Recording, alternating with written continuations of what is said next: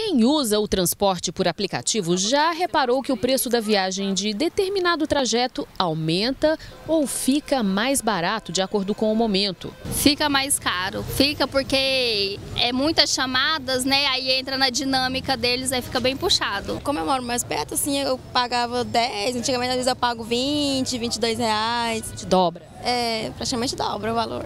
Na região da 44 é assim. Em horários de pico, uma viagem que costumava sair por 12 reais, por exemplo, pode passar dos 30 reais.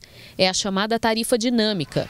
Em outras situações, o valor pago para ir nem sempre é o mesmo pago para voltar, embora a distância seja exatamente igual com a demanda de motoristas e passageiro. Quando aumenta a demanda, a procura, a tarifa tem uma elevaçãozinha, chamada dinâmica, né? Eu estou agora aqui na região da 44 é, e há alguns minutos eu fiz uma simulação de um pedido de corrida, né? Daqui até a sede da TV Record Goiás, ali no setor Bueno, e estava sendo cobrado em torno de 22 reais. Agora eu vou fazer uma nova tentativa, vamos ver se vai ter alguma alteração agora. Já ficou um pouquinho mais barato. Agora está 18 e 69, 18 reais e 69 centavos. Já é uma diferença bacana aí, de mais de 4 reais, né? E isso talvez porque agora, com esse horário em que o movimento vai diminuindo aqui na 44, né? É, muitos ambulantes já vão desmontando as banquinhas, está em horário de fechamento de lojas, o movimento vai dando uma melhorada e aquela chamada tarifa dinâmica também fica mais barata.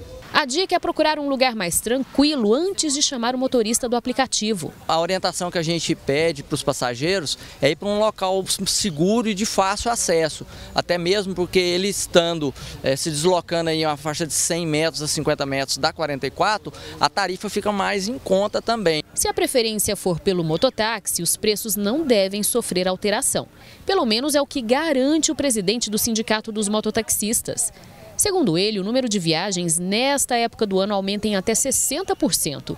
E é o momento de cativar novos clientes. A orientação do sindicato é para cobrar a tarifa que se cobra o ano todo. Então a tarifa, todo motar com experiência que tem, ele já sabe o preço do local ao, ao local B. Por isso aconselhamos aos companheiros para manter esse preço para que traga mais clientes, que o cliente pode rodar mais. Os táxis também comemoram o aumento da demanda. Deu uma melhorada bastante, porque em relação aos outros meses que estavam mais parados, né?